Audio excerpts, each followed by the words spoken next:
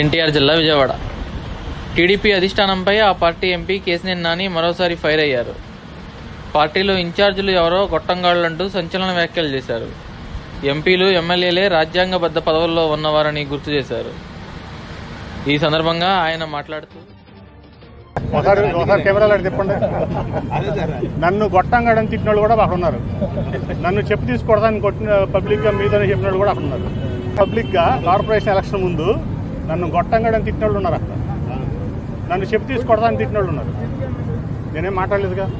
నేను ప్రజల కోసం పనిచేస్తున్నా తిట్టించుకుంటే వెళ్తున్నా ముందుకి.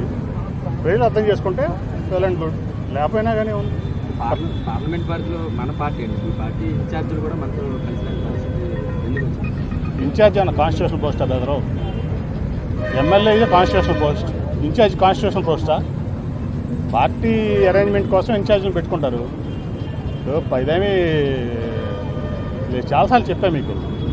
మళ్ళీ మళ్ళీ అదే క్వశ్చన్ అడుగుతున్నారు మీరు. ఇదేమి రాజ్యాంగ పదవి కాదు. అట్లా కానీ రాజులు సామంత రాజులు రారాజులు ఎవరు లేరు. ఇది ప్రజాస్వామ్యం. ప్రజల్లో ఎన్నుకున్న ఎంపీని నేను. ప్రజలు ఎన్నుకున్న ఎంపీ ఈస్ట్లో గద్దె రామ్మోహన్ గారు ఉన్నాడు. అట్లాగే వైసీపీ ప్రజాప్రతినిధులు ఉన్నారు.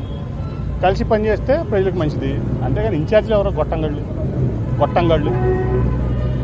గొట్టంగళ్ళు. లోకల్ వార్తల వీడియోల కోసం పబ్లిక్ వెబ్ యాప్ డౌన్లోడ్ చేసుకోండి.